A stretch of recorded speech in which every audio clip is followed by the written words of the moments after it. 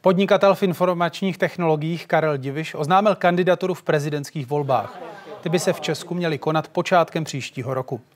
Prezident by podle Diviše měl být partnerem pro vládu a parlament a pomáhat jim prosazovat strategické vize. Zároveň by chtěl využívat mediálního prostoru a upozorňovat na pozitivní témata. Já jako občan České republiky Karel Diviš bych chtěl být hrdý na Českou republiku, chtěl bych být hrdý na prezidentský úřad a chtěl bych, abychom měli prezidenta, který bude dobře zastupovat a reprezentovat eh, lidi v této zemi, ať už ho volili, nevolili, či dokonce nepřišli k volbám. Současně bych si přál, aby eh, prezident byl blízký lidem, aby viděl věci v souvislostech, aby dokázal lidi spojovat. A protože nikoho takového momentálně nevidím a jsem člověk, který nechce kritizovat a vždycky jsem měl rád velké výzvy, tak jsem se rozhodl, že budu kandidovat sám.